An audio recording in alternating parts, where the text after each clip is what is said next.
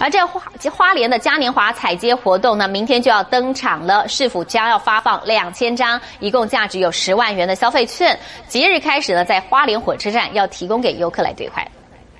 当日的票根呢，在领的出站后的手续柜台就可以兑换五十元消费券。消费券就在花莲重出江湖，只要凭当日到花莲的火车票就能换一张。民众一到车站就拿到消费券，不无小补。一个一个人五十块来讲，对你来讲够不够？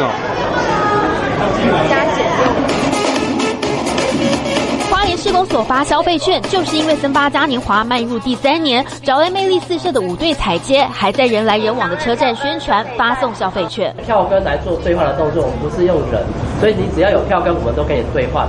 消费券的面额虽然只有五十元，但能用在花莲的四大商圈买伴手礼、小吃和衣服，让民众在什么都涨的年代拥有小确幸。